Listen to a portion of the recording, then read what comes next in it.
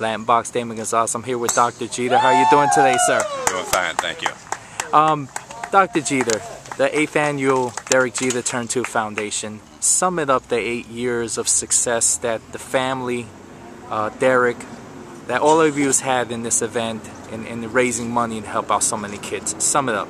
Really, I mean, to sum it up is uh, is that we've been fortunate that we've been able to do some good. I mean, really the main purpose of this event and any event we have and throughout the years, of course, is to is to help young people out in the three areas that we support. So, and we've been fortunate that we've gotten the support and uh, you know been able to help a lot of kids. So that's the main thing.